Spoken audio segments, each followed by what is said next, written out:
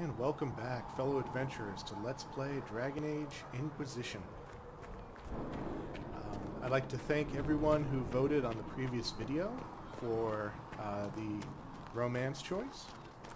And the clear winner, uh, both from comments on my channel as well as a couple others who uh, sent uh, some votes via um, uh, Facebook. The winner is Josephine and so we will be romancing her for this playthrough. Uh, so from now on we will only flirt with her and uh, we will take the option to pursue a romance when it comes up. Also, as you can see, I've changed my appearance. Um, this is actually uh, Warden Battle Mage armor. I thought it looked pretty cool, and it's got some good stats. Uh, since the last video, I did a significant amount of playing, uh, I've gone up at least another five or so levels and basically did a whole bunch of side quests that don't have uh, as much to do with the main story. I gathered a couple more agents as allies for the Inquisition. Um, and uh, yeah, basically just uh, did a lot of little things here and there uh, to help out various people with different reasons. The standard adventure affair kind of stuff. Um, but that has resulted, as you can see up here, in a power rating of 61.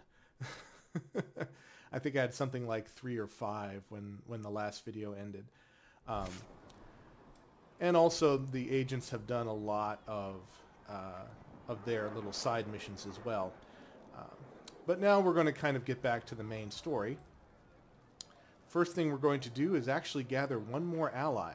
Uh, for the Inquisition before we head off to ask the mages uh, for help. But before we do that, I'm going to do la one last run here through Haven and see if any of the companions have things to say. I will take these injury reports we'll start off with our romance choice, Josephine. Ah, Lady Trevelyan. May I have a moment? Sure. Yes, Ambassador? I'd like to discuss your parents. A little sudden, but it's time someone made an honest woman of me. What? Very amusing. This is serious. I'd like to dispatch a courier asking the bands of House Trevelyan to align themselves with us. What are your thoughts? Should we approach your family for their formal support of the Inquisition? Hmm.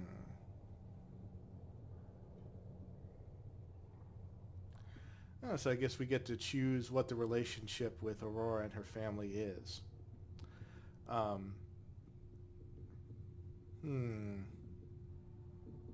She was given away at a very young age, so there may not have been much time to uh, develop as much of a relationship as you know might be expected normally.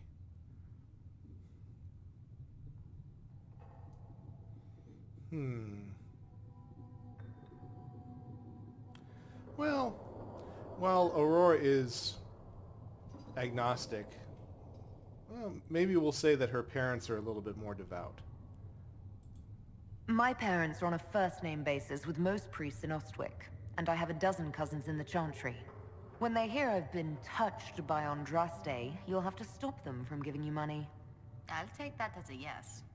Val Royeaux has noted your lineage, it gives the Inquisition some legitimacy, although not so much as we'd hoped. Why not? You are from Ostwick.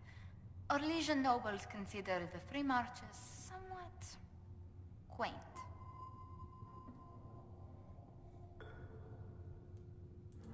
Even though I'm a mage, that doesn't give them pause. Not an unfamiliar sight. Mages from noble families are given more leeway. Besides, Ostwick Circle had a reputation for being rather sedate.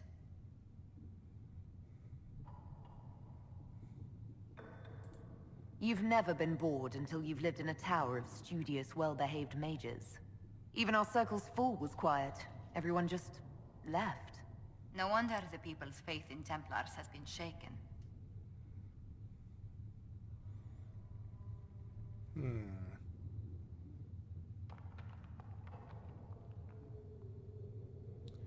I'd say Aurora probably stayed out of the Templars' way most of the time. The Templars left me alone. I extended them the same courtesy. I'm sure it was for the best. This place is no bastion of civilization, uh, not like the Circle. I hope you don't find the living conditions in Haven too drastic for someone of your station. This can't be what you're accustomed to, Ambassador. One adjusts. I stay busy. It helps take my mind from our surroundings. And the cold. And the wildlife. And the lack of civilization for miles around. Why anyone lived here before we found Andraste's ashes, I cannot imagine. Don't worry about me. Haven's more than livable. Really? If that is how you feel, I'm pleased to hear it. Until next time, my lady. Let's see if she has anything else to say. Good day to you.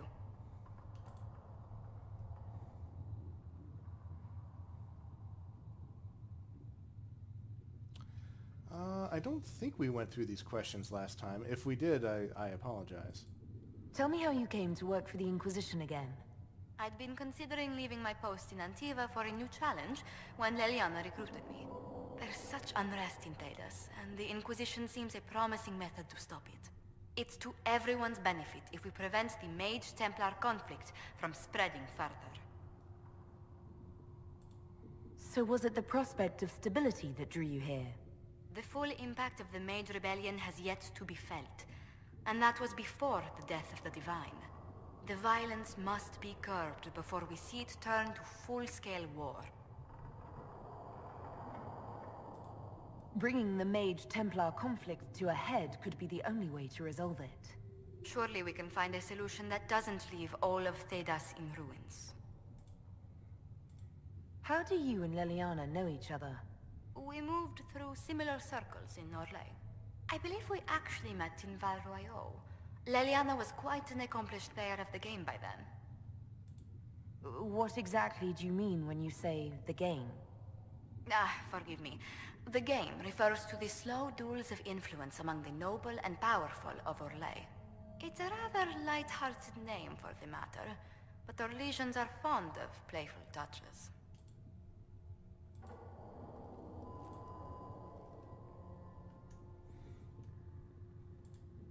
Tell me, do you believe I was saved by Andraste at the Temple of Sacred Ashes?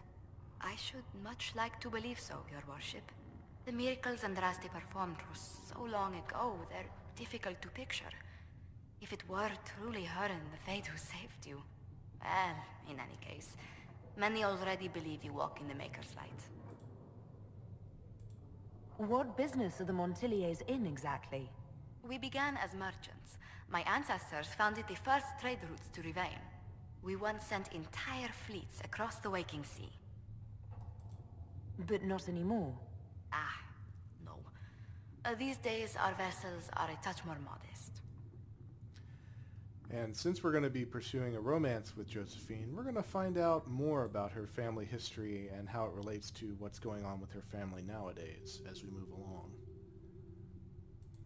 I'd swear our families have met before. Perhaps. Everyone of distinction in the Free Marches attends Lady Trevelyan's summer balls. Great Aunt Lucille always did love a party. I don't recall seeing you at any of them.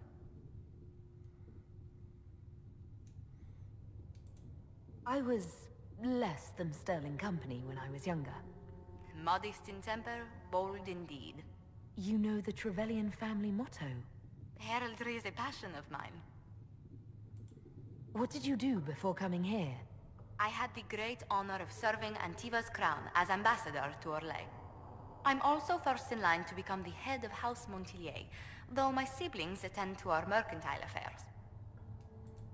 How strong are your past loyalties? I would never have given up my position if I did not intend to fully commit to the Inquisition. We cannot fall back on borders. Antiva is as threatened as any country by the rebellions. If anything, the alliances I forged there may help our current cause. Do you think the Inquisition will continue after we seal the breach? If we prove ourselves by healing the breach, people may turn to us for other things. Protection, counsel, justice. The Inquisition offered these once to those in need. Let's speak later. Another time. All right.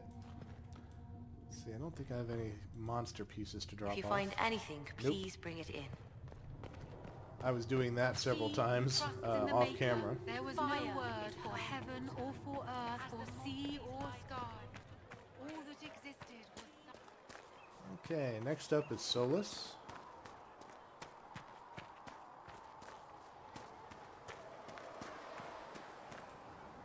Closing the breach is our primary goal. But I hope we might also discover what was used to create it. Any artifact of such power is dangerous. The destruction of the Conclave proves that much. You don't think whatever created the explosion was destroyed in the blast? You survived, did you not? The artifact that created the breach is unlike anything seen in this age. I will not believe it destroyed until I see the shattered fragments with my own eyes. Anything with that kind of power is bound to show up sooner or later. Leliana's people have scoured the area near the blast and found nothing. Whatever the artifact was, it is no longer there. In any case, did you need me for anything? What do you know about the Fade? A great deal from my wanderings. There are few hard facts, but I can share what I have learned. I'd like to know more about the breach. Simply put, it is a tear in the veil between this world and the Fade, allowing spirits to enter the world physically. Small tears occur naturally when magic weakens the veil, or when spirits cluster at an area that has seen many deaths. But your mark allows you to exert some control over the breach. That means it was created deliberately. I'd like to know more about the Veil. Circle mages call it a barrier between this world and the Fade. But according to my studies in ancient elven lore, that is a vast oversimplification. Without it, imagine if spirits entered freely. The Fade was not a place one went, but a state of nature like the wind. I don't know if I can imagine that. Try. Imagine if spirits were not a rarity, but a part of our natural world. Like a fast-flowing river. Yes, it can drown careless children, but it can also carry a merchant's goods or grind a miller's flour. That is what the world could be if the veil were not present. For better or worse. Hmm. Methinks that uh, Solas might have a preference in that uh, question, whether or not the veil is good. I'd like to know more about demons. Your circle says that demons hate the natural world and seek to bring their chaos and destruction to the living. But such simplistic labels misconstrue their motivations, and in so doing, do all a great disservice. Spirits wish to join the living, and a demon is that wish gone wrong. Is there a way to coexist? To live with them? If not in peace, at least without such active confrontation. Not in the world we know today. The veil creates a barrier that makes true understanding most unlikely. But the question is a good one, and it matters that you thought to ask. We'll talk later. Goodbye. There's basically two ways that um, you can unlock new dialogue right. options with all your various companions. When you spend your days... One is to um, And for a just progress in the story and go through the main quests. After each main quest, often companions will have more to say, if nothing else, just to comment on the results of the uh, just finished quest. Yes. Or the other way is to gain their approval. And as they get more approval, then they'll get more dialogue options that you can use. Ready for waiting. Uh, let's see, I think we already did these, so I think we're good for Sera. I'll be back if I need you. Go on.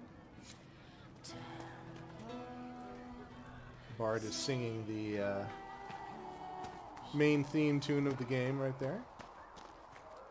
How you doing, Varric? Anything new to say? Need something? Can I ask you something, Varric? You want to talk about me? I'm flattered. Also inclined toward extravagant lies. Mm, nothing new there. Thanks, Varric. No problem. Need something? Let's see, we already asked about Hawke, Red Lyrium. I think we're good. Carry on. Oh, skipped over Leliana.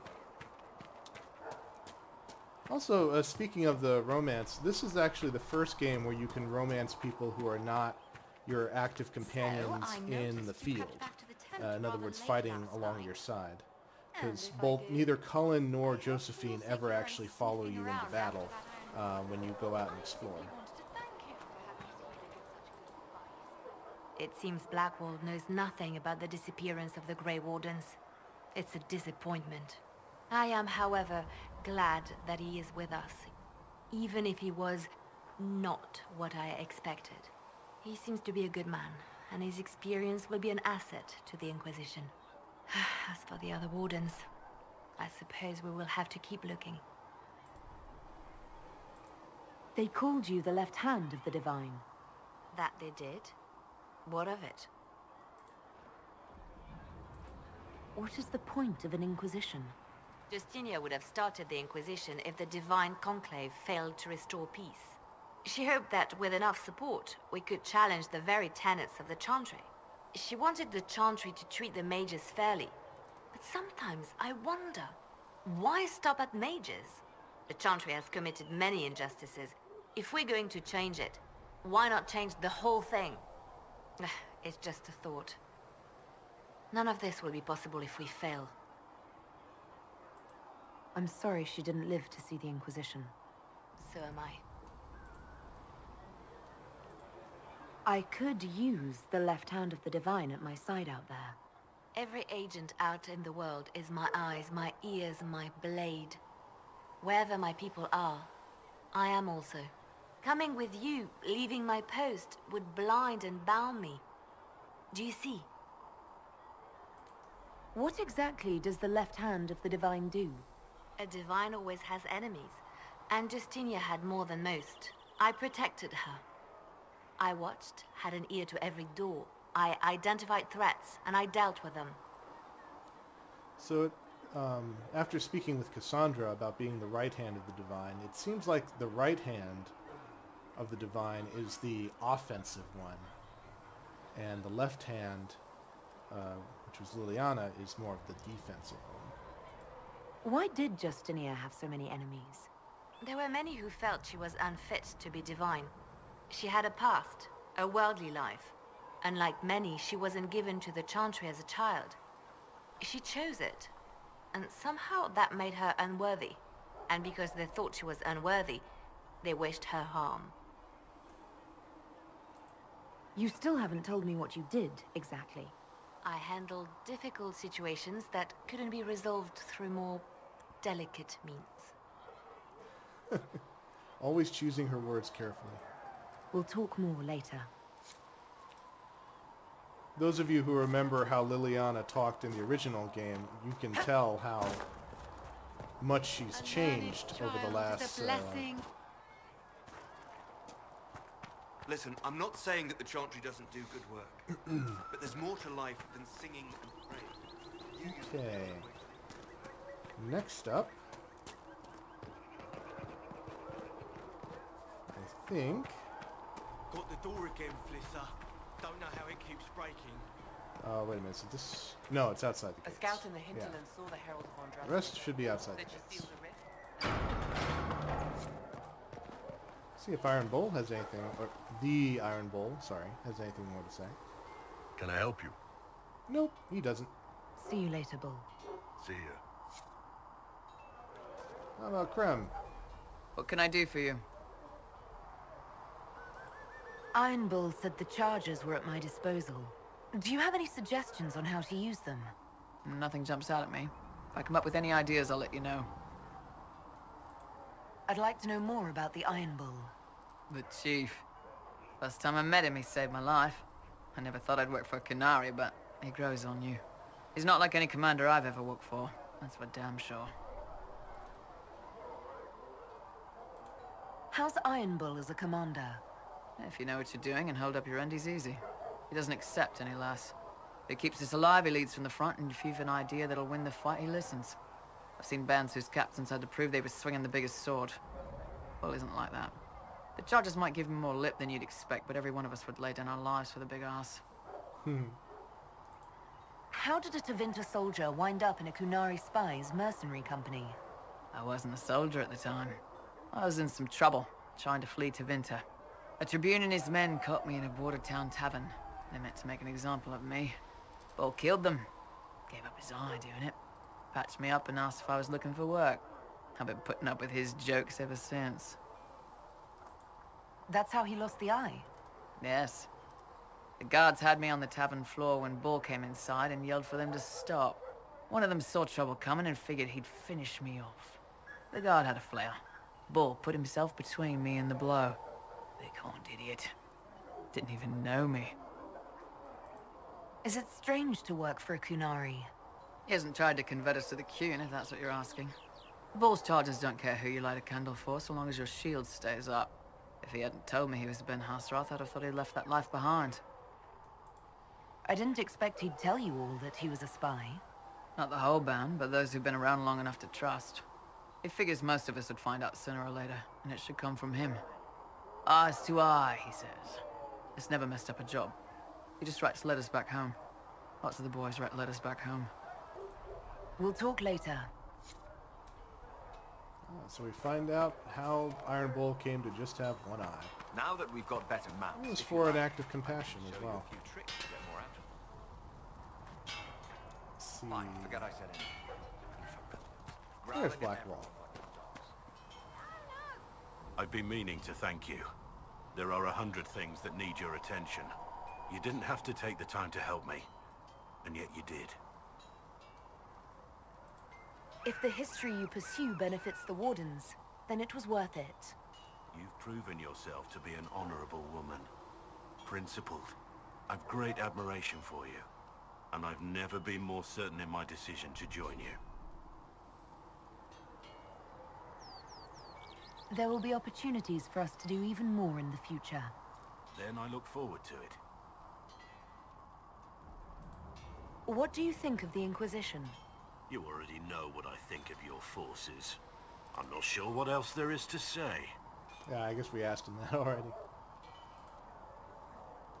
Yeah, I think we did. We should return to our duties. As you wish. You are, after all, in charge.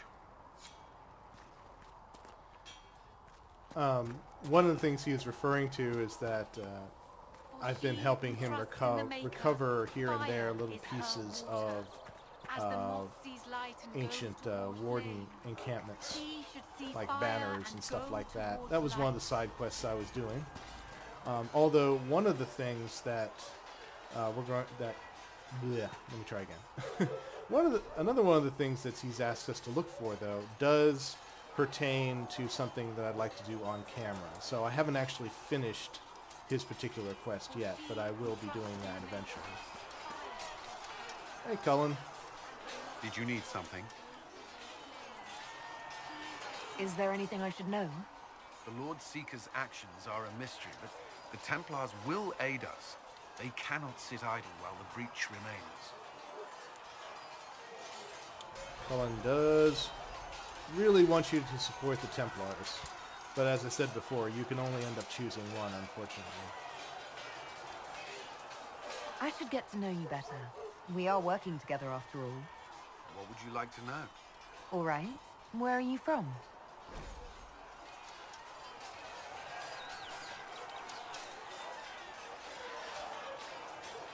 Huh. Strange that it brought up a codex. oh well. I'll scroll through this.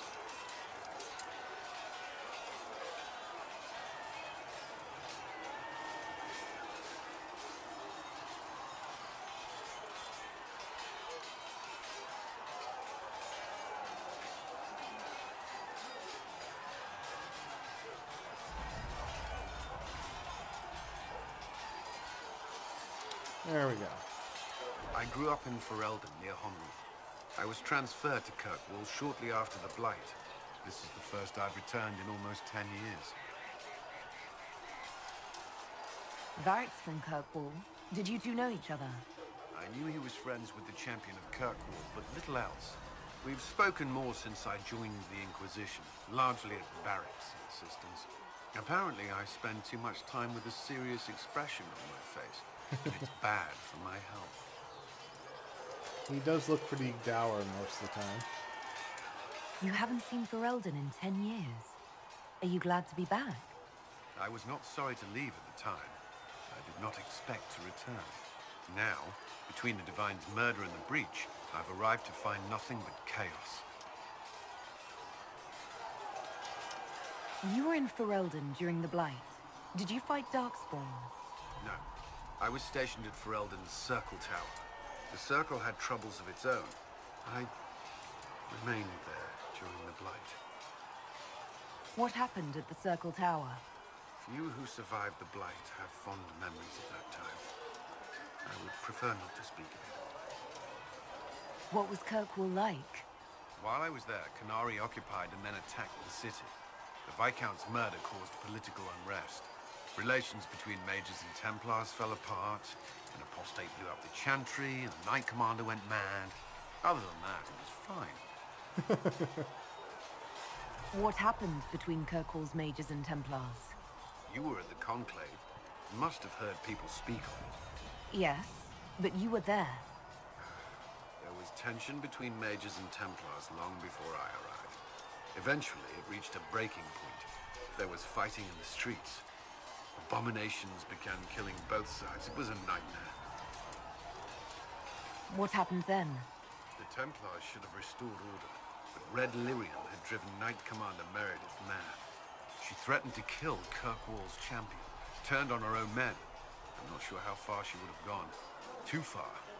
So you opposed her? I stood with the champion against her, in the end. I should have seen through Meredith sooner. I'll let you return to your work. I'm sure you have other matters to attend.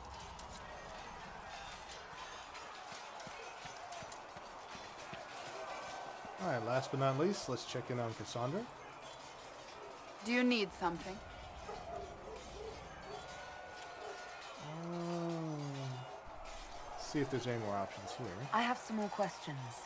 Why am I not surprised? Tell me about your brother. I would prefer not to speak of Anthony. Another time, perhaps. Nope, still won't tell us about her brother. I'll let you get back to work. Alright, A learned child is a blessing upon his parents and on so let's go to our map here. As I was gallivanting around, I happened to stop by in Val Royeaux, and I met a messenger who told me that someone was willing to ally with the Inquisition and wanted to meet with me. And it was the Imperial Enchanter, the official mage assigned to serve the Empress of Orlais. Vivienne de Fer, the first enchanter of Montsimmard, has extended an invitation to her salon at the chateau of Duke Bastien de Ghislain. So let's go ahead and see what she has to say. Ooh, who should we take? Um, Blackwall. Take Varric. And Cassandra. Go with that.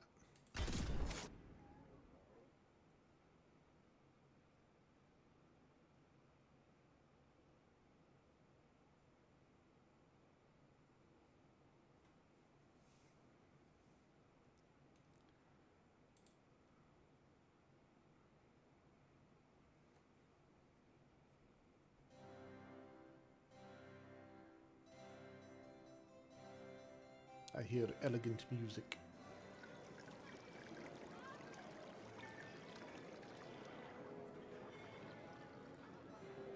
Lady Trevelyan of Ostwick, representing the Inquisition.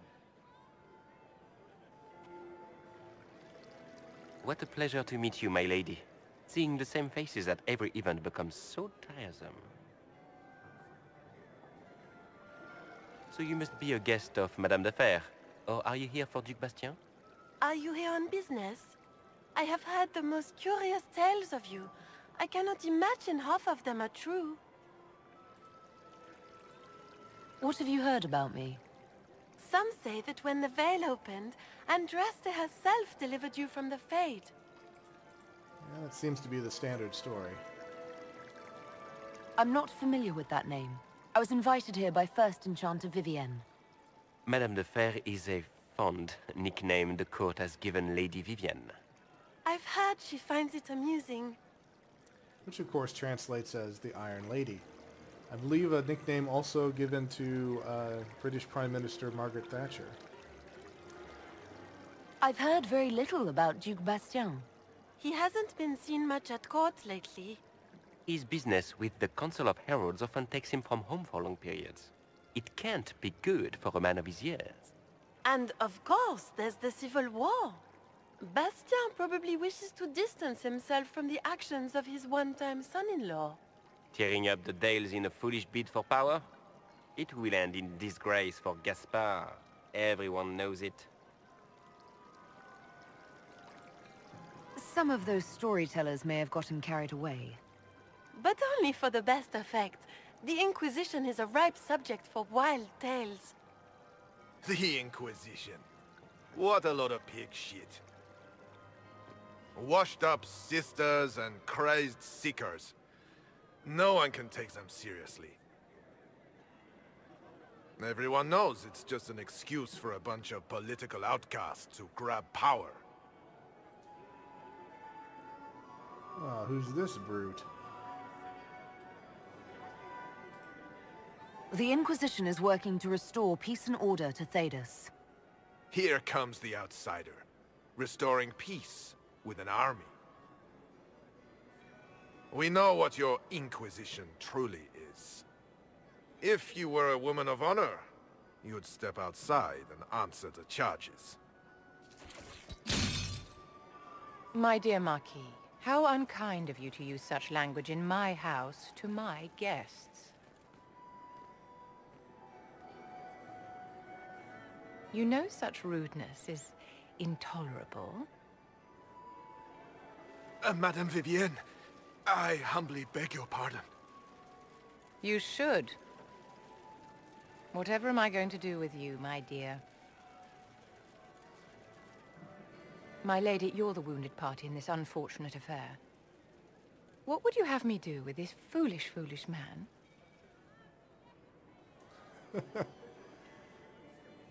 Filled with bluster.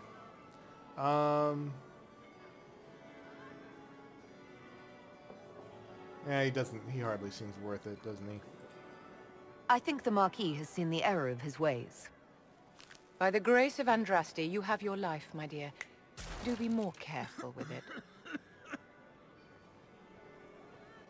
I'm delighted you could attend this little gathering. I've so wanted to meet you.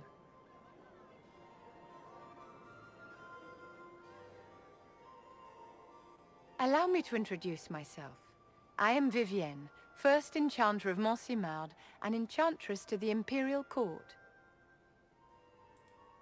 Is that Marquis going to pose a problem? His aunt is the Vicomtesse of Mont de Glace. Not a powerful family, but well respected. And very devout. Alphonse will be disowned for this. It's not the first time he's brought his aunt disgrace, but I'm sure it'll be the last. And after such a public humiliation, I expect he'll run off to the Dales to join the Empress's war effort. Either to make a good end, or to win back a modicum of self-respect. Your salon has certainly exceeded my expectations so far. I'm glad to keep you entertained, my dear. I wanted to meet face to face. It is important to consider one's connections carefully. With Divine Justinia dead, the Chantry's in shambles. Only the Inquisition might restore sanity and order to our frightened people. As the leader of the last loyal mages of Thedas, I feel it only right that I lend my assistance to your cause. You see here the flirt option. Um, however, in this case, it doesn't matter what Inquisition, uh, Inquisitor you choose to be. Um, Vivienne will never accept any advances, and you cannot have a romance with her. What exactly can you do for the Inquisition? I am well versed in the politics of the Orlesian Empire. I know every member of the Imperial Court personally. I have all the resources remaining to the Circle at my disposal. And I'm a mage of no small talent. Will that do?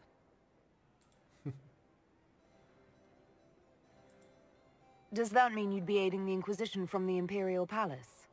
Ordinarily, I would be happy to serve as liaison to the court, but these are not ordinary times. The veil has been ripped apart and there is a hole in the sky. It is now the duty of every mage to work towards sealing the breach. And so I would join the Inquisition on the field of battle. You say you led the last of the loyal mages. Loyal to whom? To the people of Thedas, of course. We have not forgotten the commandment, as some have, that magic exists to serve man. I support any effort to restore such order. Ah, a traditionalist. At least in these times. So you're in favor of returning the mages to the Circle, then? Where else can mages safely learn to master their talents? We need an institution to protect and nurture magic. Maker knows, magic will find neither on its own.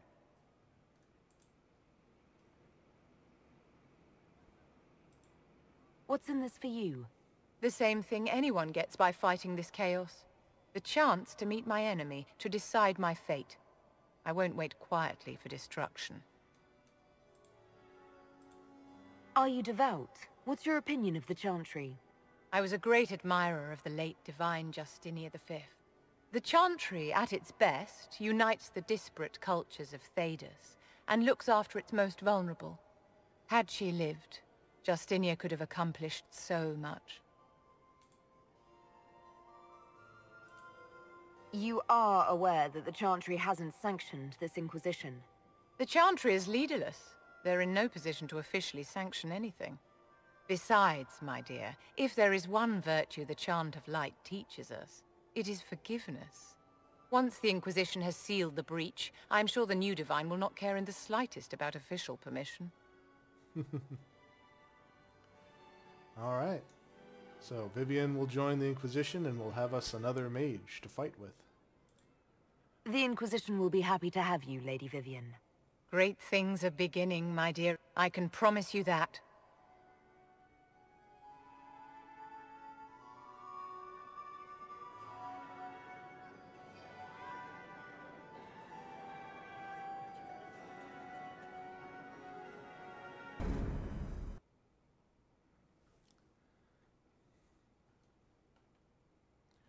And that's uh, another one of the areas that you only go to once and you cannot go back to. I think we're going to be put back in Haven then.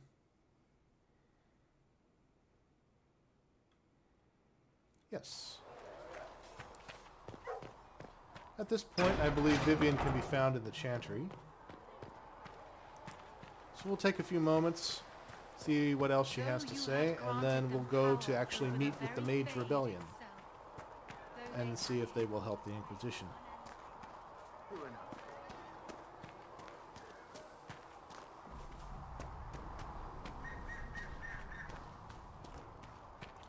Oh, by the way, I also, you can see I got a new staff. This is actually a lightning staff, so it complement, complements um, Aurora's abilities pretty well, as you will see. For she who trusts in the Maker, fire is her water. As the moth sees light and is. goes toward flame. You came from the Circle at Ostwick, did you not? Senior Enchanter Lydia was a dear friend of mine. Were you at all acquainted? Lydia was my instructor. She was almost a mother to me. I never met a wiser soul than her. I understand she was killed by one of her own students when the Ostwick Circle rebelled. I think we both agree that this war must end.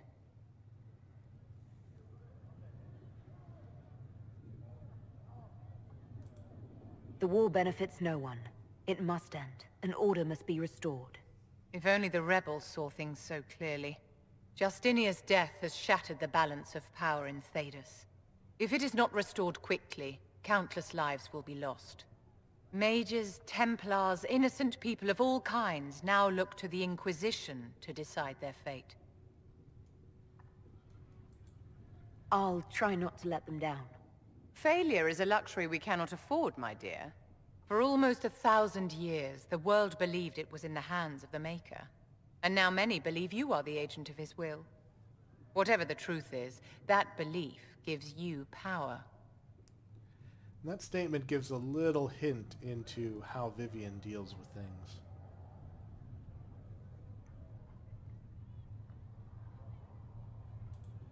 If that's true, then I'll put it to good use. I suppose we'll see. I've stolen enough of your time, my dear. Don't let me keep you. Yes? Is there anything I can do to help your efforts at restoring the Circle? After the Circles fell, their libraries were plundered by scavengers. A thousand years of recorded knowledge in the hands of bandits. It makes me sick to think of it. I've received news that some tomes have been located, if you are interested in righting this wrong. I'll look into it for you. If you can take care of this matter, the Circle would be in your debt. And that's basically Yes? one of uh, Vivienne's uh, side quests. It's similar to uh, Varric's um, when he asks you to destroy the Red Lyrium.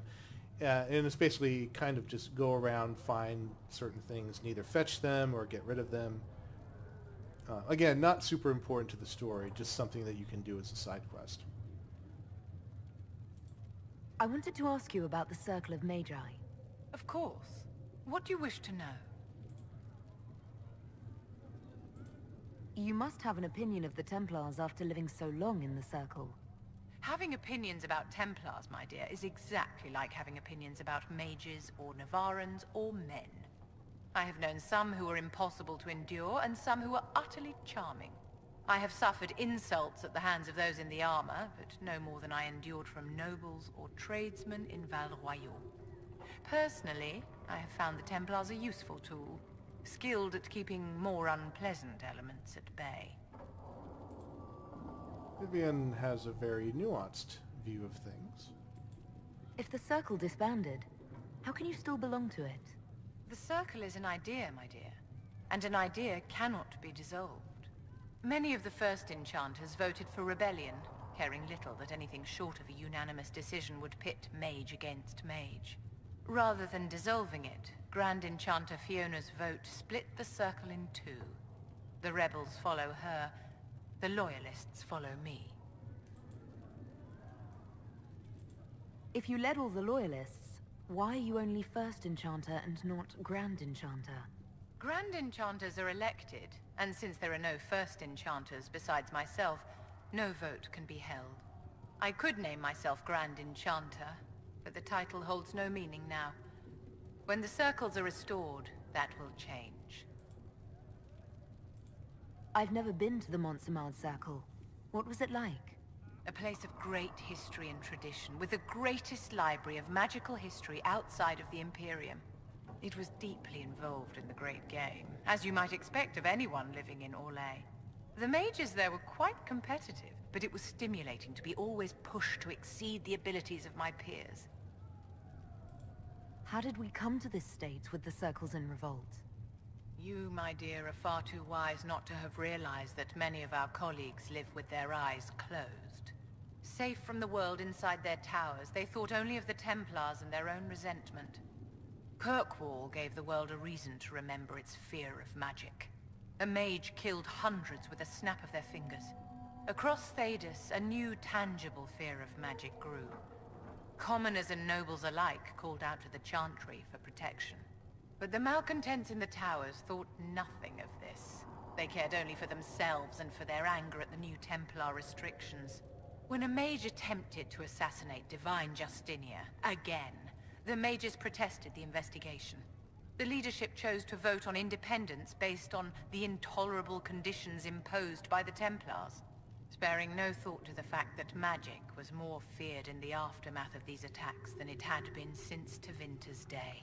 So long as they had their freedom, they could care little for riots, angry mobs, or about pitting mages against each other.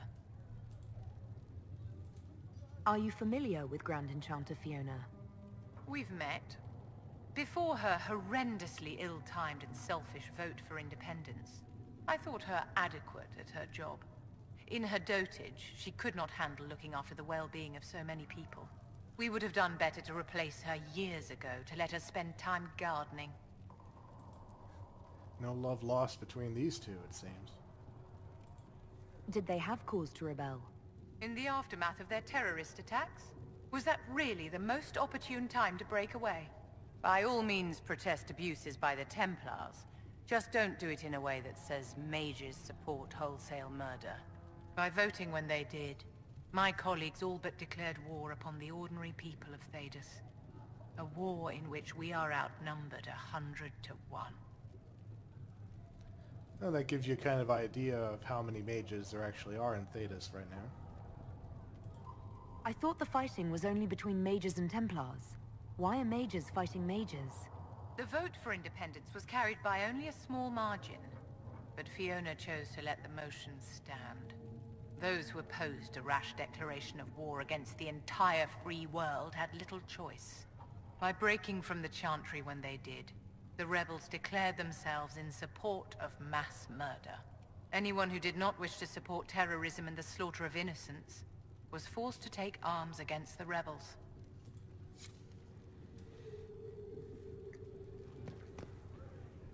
See, I think that's that was all for the circle. See if she Yes? has anything else here. Ah, yes. I'd like to know more about you, Madame Vivienne. Whatever would you like to know? Your accent's not Orlesian. Where exactly are you from? I am from the Circle, my dear. One's country of origin rarely matters there. But if you must know, I was born in Wycome in the Free Marches. I was sent to the Ostwick Circle, but I transferred to Montsimmard while still an apprentice. Well, I wonder if these two ran into each other at some point then, even maybe when they were very young. I'm curious how a circle mage winds up a courtier. Nobody winds up at court, my dear. It takes a great deal of effort to arrive there. I caught the eye of Duke Bastien de Ghislain, an advantageous connection that opened many doors. When the position of Enchanter to the Imperial Court became vacant, I was able to secure it. You're married to the Duke de Ghislain. of course not, my dear. Don't be ridiculous. Marriage is the business of alliance and inheritance. I'm Bastien's mistress. Sounds like things get complicated. And what does the Duchess de Ghislain think of this arrangement? We got along quite well. Duchess Nicoline and I used to host musical salons together. She was a great patron of the arts. She passed away from a fever a few years ago, the poor dear. What duties does a court enchanter have? I am tasked with providing assistance to the Empress on arcane matters. Most of my predecessors restricted this to lighting lamps and doing parlor tricks. In such troubled times as these, however, I provide political advice to Her Majesty on the subject of the Mage Rebellion. Okay. So let's go ahead and head out.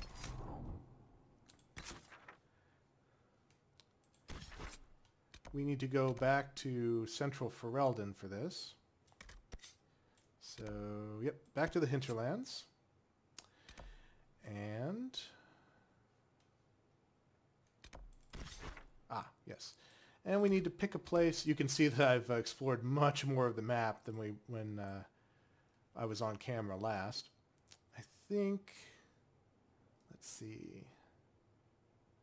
I think this encampment is probably close to where we want to be.